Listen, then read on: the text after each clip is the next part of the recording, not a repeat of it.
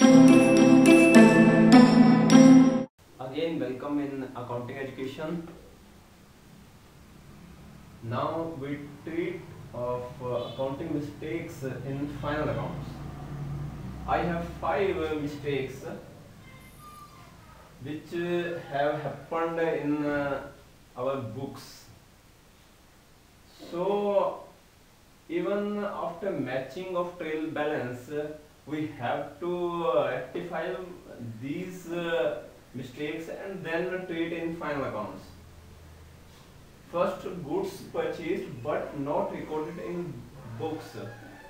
They will not any effect on trade balance, but this is a accounting mistake. So with this, uh, we did not record in our books uh, goods purchase. So with this uh, trading in trading count, purchase will increase with uh, this amount. Purchase will increase and uh, in uh, balance sheet in the liability side side our sundry creditors creditors will increase. Second treatment of uh, assets sold but treated as sales. When we treat uh, assets sold but not but treated as sales uh, we decrease same amount. Sales minus same amount in trading account and uh, in the balance sheet we also decrease particular asset minus same amount. Because uh, uh, assets sold will decrease our assets. Now erection charges paid on machinery debited to wages account it's uh, it is a mistake because uh, erection charges paid on machinery will increase the cost of uh, machinery. So in trading account we decrease this amount from wages. And uh, in balance sheet in the asset side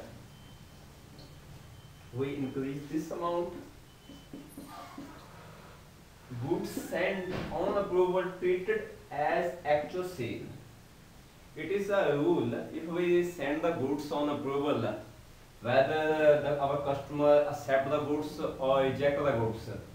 So this is not our sale but uh, by mistake uh, we treat it as a sale. So uh, in trading count trading count uh, this sale will decrease. Sales minus this amount. And we add this uh, in closing stock. Closing stock plus goods goods with with customer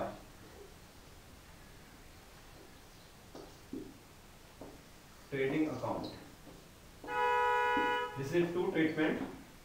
And in balance sheet one in asset side uh, we decrease this amount uh, from our customers. Debtors minus this amount. And uh, second treatment uh, we show its uh, inventory.